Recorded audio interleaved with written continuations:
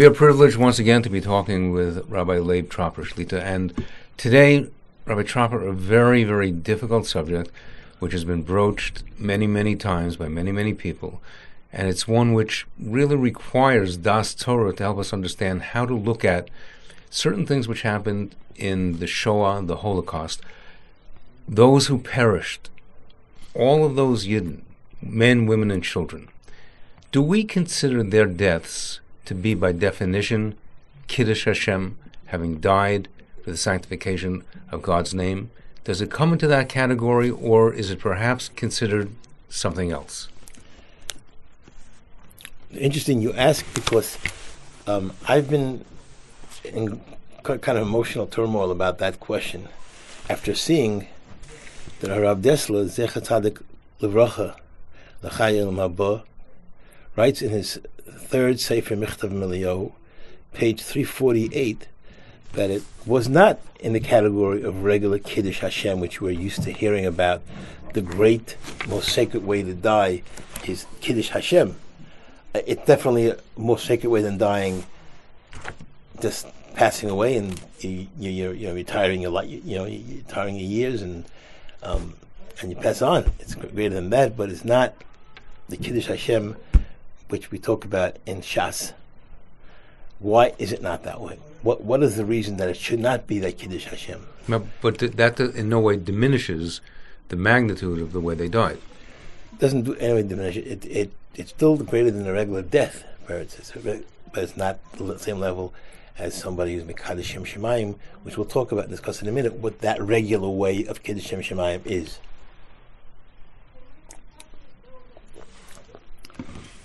When somebody has a choice, the Gemaras, all the Gemaras that talk about Kiddush Shem Shemayim, talk about we're given a choice to either serve idolatry or you're going to go and get killed.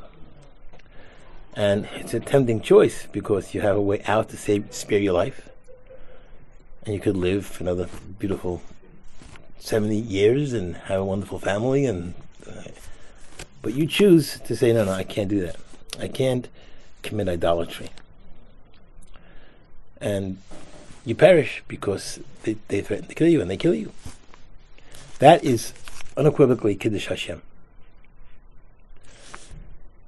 In, during the, the Holocaust, so we call it Holocaust, Shoah, the, the German war, Nazi war against the Jews, it wasn't a choice. I mean, they weren't giving you saying, you know, do this and I'll let you live, or do, don't do that and I won't let you live. They were just killing Jews because you're Jewish. The mashmos in the Rambam is that one who dies because they're a Jew, just because they have a title named Jew, that itself is a Kiddush Hashem. But Rav Dessler, in Chelik Gimel, of his Michtav Me Eliyahu. I will read it to you a little bit. Um, takes issue with that, and even some people who I know, like Rev, Rev Ehrenberg Zatzal, in the Chuvis of his sefer called Dvar Yehoshua, he was a victim of the Holocaust, and he still refuses to call it an act of Kiddush Hashem, as the Halacha describes it in Yoreh De'ah and in other places in Shas. But I will, I will start off with Rav Dessler's p- position. He says, many time we die for Kiddush Hashem, what, what, what is that about? Rabbi Mishal the Talmud, Ma Betza, what's the benefit of dying for that, for Kiddush Hashem? In the real case of Kiddush Hashem, where you're given a choice and you choose not to give up your, your religion and the Shmiras HaMitzvahs, what is the benefit of that? Ilu mitoch gzeres hashmad mesu. Umasur nafsham al kiddush. There was a gzera of shmad that you had to go and convert. Okay, it's it's halal davar. It's it's very nice. The people in during the war, they they weren't asking for belief or not belief in God. That wasn't their issue. The Holocaust people, victims of the Nazi Germany, were not they weren't victims because they were Jewish. They weren't. Nobody was asking them to believe that. That wasn't the question. Elahashmid lahareg ula'abed kemaimin kemumar. Whether you're an atheist or whether you're a believer, you're Jewish, you're dead. Ulahama says kulam al shenolda Yehudim just because they were born Yehudim. V'chima inyan yesh What is that? What kind of what, what category does that fall into? Hein gam have sharas lekadesh es shmoi. Even to sanctify God's name is not given to these victims nebuch. What is the purpose then? What is the purpose of their death? So Rav Dessler does not give in, concede that it is a Kiddush Hashem. He says it's Mekadesh Shemo Yisborach in the heart of every one. Not a, not a grand demonstration of Kiddush Hashem, but a sanctifying God's name in every person's individual Yid's heart. When he says Shema Yisrael Hashem Elokeinu Hashem Echad, as he goes into the gas chamber, or gets about to be shot. That would be a Kiddush Hashem. No, that is sanctifying God's name in his own heart. It's not the classic case in halacha of Kiddush Hashem. Kiddush Hashem is defining as something where you have a choice to do something and escape the death, or not. As, but this wasn't a case of you, you couldn't do anything to escape death. You you're dying like like like like, sheep on a. In, in, in, a herd, you know, it's just like you're slaughtering the animal. You're not giving me a choice. Do this and I'll let you go, or don't do that and I won't let you go. You had no choice, Peretz. There was no, given a choice. That's not Kiddush Hashem. Kiddush Hashem, in, in, technical cases in the Gemara and Shas, is where you're given a choice either to go and be over by the Zara, do other Averas that are very severe, and then you will be spared. If you don't do it, you're going to be killed. This wasn't the case in, this, in, in, in, in Nazi Yamach Shimon. That wasn't the case. There was no way they would be spared. Is there a distinction between that and the Kaddish Shem Shemaim? We're just talking about it. That's what I'm saying, Peretz. I'm saying it's not considered Kiddush Hashem in the fashion in Shas when you don't not given the choice of doing an Avera to spare yourself. If it's only because you're Jewish, that may not be considered a Kiddush Hashem Shemayim as the Allah considers Hashem Shemayim. You are sanctifying your name in your own heart. Mm-hmm. It's different than saying it's a Kiddush Hashem. The, you're making a Kiddush Hashem in the world. You're not. You're making Kiddush Hashem to yourself which is Odessa says it's it's it's lamaila from everything. It's above and beyond what regular death could offer. Can I ask you why it's important to make that distinction? Well, there are halachas about um, there are halachas about people who die al kiddush Hashem, what they're promised, and those who do not die Kiddush Hashem, and they may be they may be promised, they may not be promised. We don't know. We don't know what they're. But those who die Kiddush Hashem are the highest madrega. The reward is on the highest madrega. Excuse me. So, um, the Rodessa wrote this. I can imagine that many people kind of. Uh, cried out of rebellion, like, what's going on? I mean, uh, you know, uh, my parents want Makadosh Shem Shemayim, they suffered, they were tortured and beaten. My, my, my young grandson wasn't, uh, he tortured, beaten little kid, he wasn't Makadosh Shem Shemayim. Truth of the matter is, the Rambam, in the beginning of the Rambam Sefer, implies that somebody who dies, like you said, Peretz, before, because he's a Jew, is sufficient to be called the Mikadesh Shem Shemayim. But like I mentioned to you, Rav Ehrenberg Zatzal was a big, was a Paisik as well. She was the value Yeshua five Chalukim. And others don't believe it's necessarily a Kiddush Shem Shemayim. But we said, that's what we said, and you know, and uh, there are a number of a few other people like that that don't, don't believe it was a Kiddush Shem Shemayim. So it reminds me of of something that I, I feel I should maybe we should share together about Kiddush Shem Shemayim.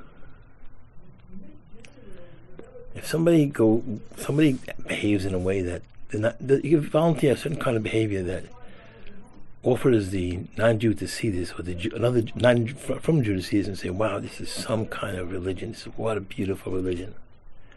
He's being mekadesh Shem Shemayim.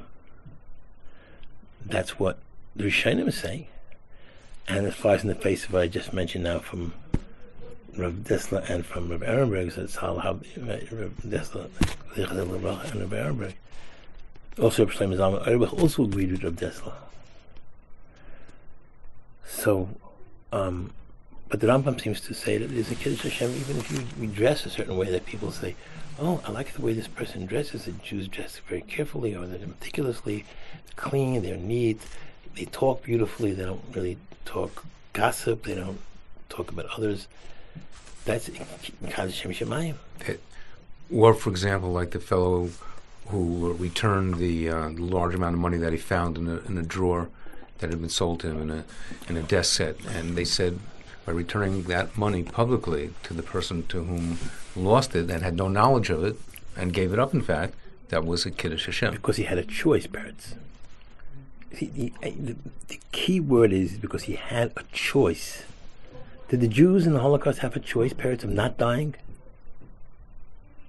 There was no question. There was no choice. This this fellow could have kept it. Nobody would have known anything about it.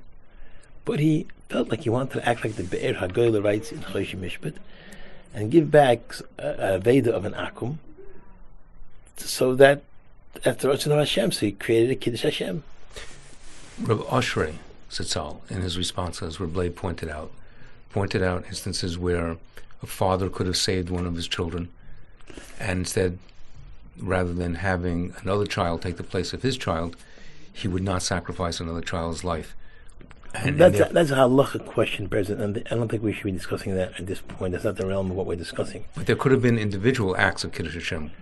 Maybe, maybe it could have been possible, very possible. But we're not, we're not talking about where the, the halacha is involved. It's mm-hmm. another whole story, you know, repairs. Um, so I just want to. The reason what, what, what, motivated me to talk about this now because the, the Pesach is the is the Chag Haba Emuna in the Rabbanu Shalom. And Emuna, throughout our life, you should know this.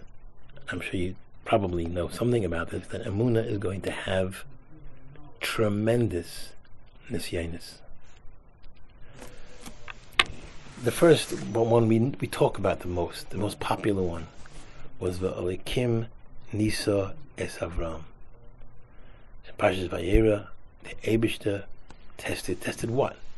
Avram's Zemuna in the Abishter. Will, will he still believe that the Bari Olam is what he is, the Avarachmon? Is he the Bari Olam that loves him? Is the Bari Olam that. Exactly. So what is this about this Nisayon? What what do we call a Nisayon? What's the what goes through in a Nisayon?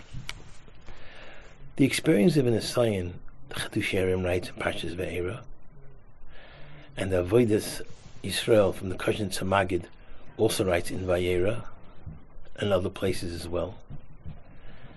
And the Piaseczner Rebbe writes in Eish Kodesh as well. And the sign of Amunah is in the sign of Hashem's Hester Panim. God contracts his being a way that we cannot feel him and see him anymore, because if we could see him, that's not an Messiah. So he's compelled to hide somewhere that you can't see Hashem, so you don't know what is Hashem here, what's going on, and it's totally in your mind. Is I, I believe in Hashem anyway. That is the Nisayan. And Jews are indigenous, particularly to this Nisayan, more than anyone else, because they have a chiyuv to believe in the Abishta. Atheism is not an option for a Jew. I mean, it's not. So, thinking about it in that way, so uh, we, celebrate the Amunah Pesach. Think about the nisyanis that you had in your own life. Each one of us should think about the nisyanis that we have, the challenges we have in our own life. In Amunah, it comes with great pain sometimes. Sometimes we even failed in the sign. It doesn't mean that the Abish, the Chas Shalom, is Dechiyu. Never. Abish does not abandon his children, his kindlach. He doesn't abandon anyone. Forever you're always attached to him. I'm not going to say that I believe in unconditional love, but I believe that the Abishta loves everyone.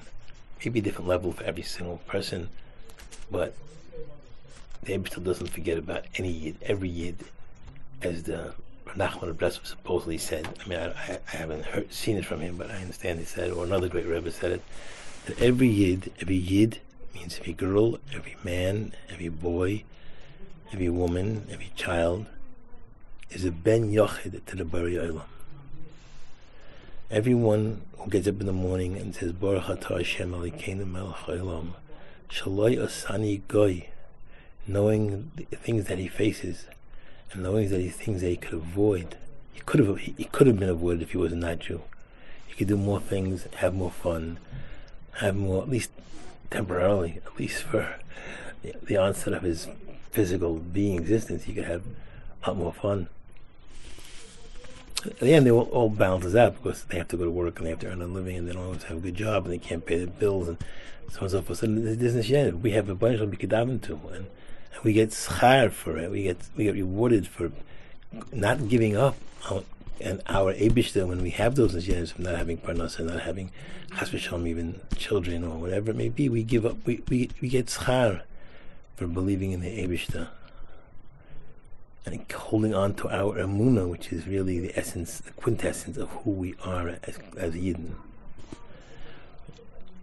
Yaminu Bashem first, and then of Moshe Avdai.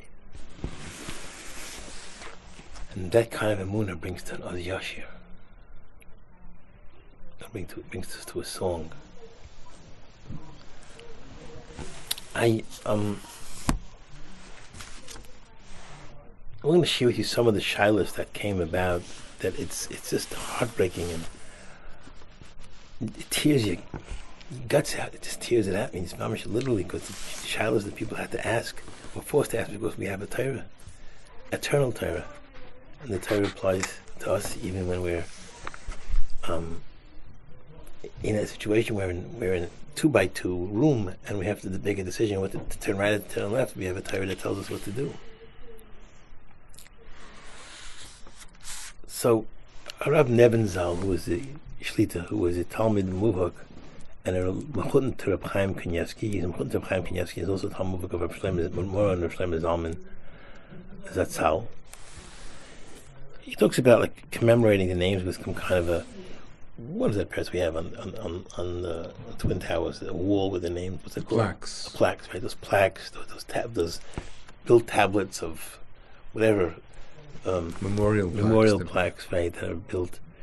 She was asked, is there any Indian to do that for the six million, even though you don't know the name, just the plaque saying six million Zecher Nishmas, the six million Kedoshim Tahirim that were killed in this country, in this continent, Poland. So I'll read you what he answers. The best thing to do is just lahansiach bisfarim, eternalize in sfarim. Give a gift to a sefer, to a yeshiva, a base medrash, a shul, and say ili nishmas, or write ili nishmas, so and so forth. With maaseh chesed and with acts of kindness. Them, you have, you have, a, you have in Monsey, they have this thing called, um, I have this program, it's Chaverim. Flat tires, people come running over. I mean, it's Mikan Israel. It's unbelievable, right? They're running over to help you, and they get on the floor, and they, they're so happy to help you, and they come in and smile. And then you say to yourself, "Il Nishmas, my great grandfather was killed, or whatever it may be. That is really affecting his neshama. It's impacting his neshama. Who says? Who says that? Well, I think it's good I look at the practice of the Chafetz Chaim Ahavas Chesed, and you'll see that he writes that. He has a long, elaborate discussion about the perversion of mem- memory of these people that just make a fancy um, plaque memorial, and that's just made from something which is material. It's a material thing. It's gone. You eternalize the name, the reputation, the the, the, the memory of this person. Hashem Yom Damam. God should, by doing meisim tovim that goes into their bank account in Olam Haba, and then Hashem is elevated. And we have no idea. We don't we don't live in the world of the Neshamas. And we shouldn't live in the world of the Neshamas. But we have to know we're not living in the world of the Neshamas. Just to go go for a second. The Sasva Rebbe Yisrael Rach was once asked about a certain person that looked like he was very inappro- acted inappropriately all the time. And he was always nice to him.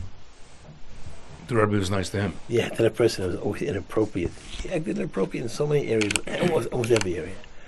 So forget about whether it's the right thing to do the wrong thing, but the word that he said really sums up the attitude that we should have as well.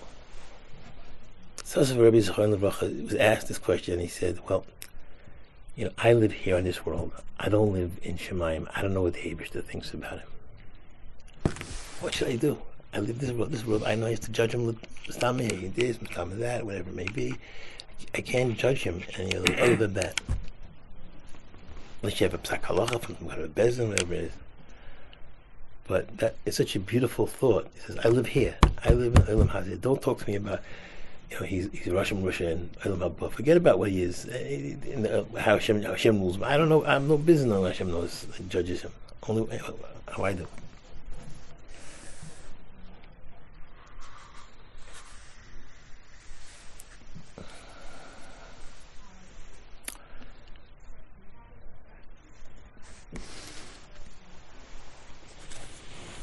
So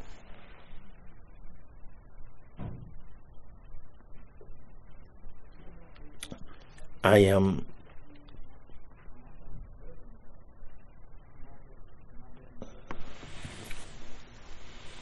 Remember somebody asking a, a, famous Pesach. Uh, when I call somebody a Pesach, there's a standard of knowing Shas and Babu Yerushalmi, at least and Tur B'Sheshes and Shulchan Aruch Ram and Taz. But I just want to. Somebody asked this Pesach whether or not. Um, Rashi says by Mitzrayim, she says, Sa'ev Mitzri, don't reject totally Egyptian. Because you are a, you lived in his land. And Rashi says, even though you were tortured and everything else, and they throw your males to the water to drown, because you were b'shasat for, for you were, you, you had a home, you had a place to stay. Would we say that about Germany? So he says, no. Why? Because the reason why, if you remember, person in the beginning of Shemos, it says before the all the trouble, and it says, "Hein Am Yisrael," it says, "Rava Otzimimeni." This nation was bigger and stronger than us. Maybe they make a war and leave. If they were sure that that wouldn't happen, maybe they wouldn't have done held the Jews captive. Maybe they would just sort of maybe deprived them of certain things, but not really tortured them. They were torturing them because they thought they were going to take over the country. Mm-hmm. For, for that, you could say, listen, you, you you lived in the land, you had some comfort, you had a, you, had, you had somewhere to sleep, uh, you know. But Germans, Shemam, they were out just lahashmid, laharig, lahabed. There is no rationale for that hate. And usually, usually, I don't want to say this, ration, hate has no rationale. That's why it's called sinas chinam. Hate is just simple unhealthy. It's just an unhealthy thing. You hate someone, you hate something, you could dislike it, and I, wonder why we can't just get rid of that word hate and say I don't like something. Imagine oh, if the word hate didn't exist. How much better a world we would be living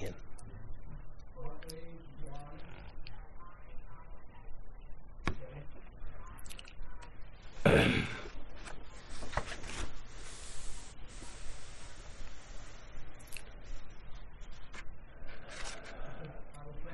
The other side spectrum is uh, the other side of the extreme. The other extreme is that somebody asked a great Pesach also in the days in Poland if I could escape the concentration camp.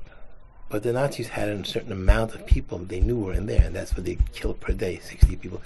And this guy sneaks out of the line and he runs away. So they're going to take another Jew and instead of him or her, are they allowed to escape. He comes so what kind of questions? Think of everybody. Think of these questions. Ay, mom, she can pull tears out of your eyes after ask such questions. So the Pesach told him that he cannot, he can, he can, because and Petura, that was a story about having one container of water. I mean, whatever the story about as you know, if you want to call me and ask me you can ask me the story. You look at the Baba and see it. See the story. One's life takes precedent over someone Right, else's. right, right. Chayecha koidmin, it's called. Your life comes first. Even if you don't want to. You can't, it's not just a benefit. It's not just a gift that Hashem says, you know, I'll give you a gift, your life comes first. It's a chiyuv. You can't sacrifice your life for someone else's. You can't offer and say, you know, you know, even though the Torah says I, I can do it, but you know what? I'm you can't be meichel. That's that's the halacha. Again, I told you that I'm, I'm not sure what, what this, is, this is some kind of a inspiration that brought me to speak about this concept of amuna and the nisyanis that we have in our life all the time, all the time. We don't we don't miss the Mesilas Yesharim designates a particular name for, for us, people walking in the streets of Flatbush, Lakewood, Jelayim, Bnei Brak, anywhere in the world. Ish Chayil, we're warriors. And he calls the battle the battle with the Yetzer Hara. We're warriors. That's who we are. It's a life of battle. When you get out of the battle, you're not living. People are not living. They're existing, but they're not living. You're out of the battle. We can never escape the battle that the Abish to put us in, to elevate ourselves, make us greater. Goyachad it's a special, unique nation in the whole world. Goy Baruch Hu help us that we should appreciate the Goyachad Bar, that we were free to become. That was the Tanai. Is um Rabbeinu said when I leave, take out of Mitzrayim, Tavdun Eselikim, know, going from one service to another service. One is so, what should I say, so eternal, so beautiful, so magnificent. You stop serving Egypt. Tavdun Eselikim, Maharaj, you're going to serve God in this holy mountain. Think about this as Mitzrayim as the the marching call towards Ha- Har Sinai. Yisrael is going to be elevated to the level where it's going to be called Yisrael Asher B'cha. You're the Jews that I'm so proud of. I love so much. There's nothing as great as Yisrael. Thank you very much. Thank you, Rabbi Leib Tropper. To all of you. I don't speak again. And Mr. Shem, you should use the Pesach for the right thing. And you'll be surprised how much you could reach in a Pesach in your mind if you are not busy with narishkeit. I mean, it's not even, I'm just saying this as a PS to what we said before. It's not even busy with one thing or another. This is busy with the ruchnias of Pesach or busy with narishkeit where you shop, where you ate, where you bought, where you sat, where you didn't, where you you saw, with this you got, and, and this guy's making this much money, I can make that much money, he's doing this. Just, I don't need to tell you the rest. It's, it's so important to focus on what's really important in life. The, the ruchnis of Pesach, it's on, a, it's on a platter offering it to us. Understanding what Abadi when Yiru meant, understanding with Ve'etzienu Hashem Elokeinu, Hashem redeeming us, taking us out, Biyad Chazak, Hashem Yad Chazaka, Zraya Netuya, His kindness, His love for us, what that means, how we could go and forever be indebted to Hashem in Lamaisa, in action. Thank you. HaKosher B'Sameach to all of you. Amen.